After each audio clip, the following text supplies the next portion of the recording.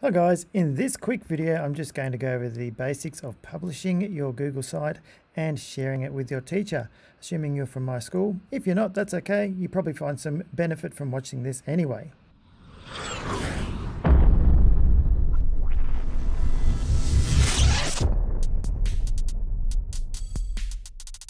We need to start off by mentioning that the example that is shown here is from a multimedia class. Now, if you're not from a multimedia class, obviously that's irrelevant to you. You just set up yours based on what your class is. So we're going to publish, give it a name, and obviously use a name that is relevant to your subject. Make sure it hasn't been used before, and that'll be your web address. Click on publish.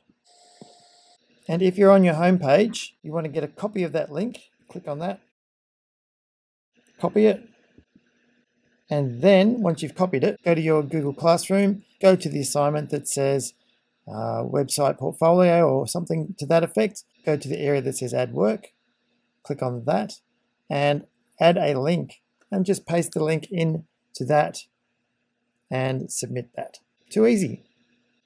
And then use your website often to update Put all your work on there, write written reflections, put them on the relevant pages, and remember to continue to republish your website after your changes so that I or your teacher, whoever it is, can see the changes.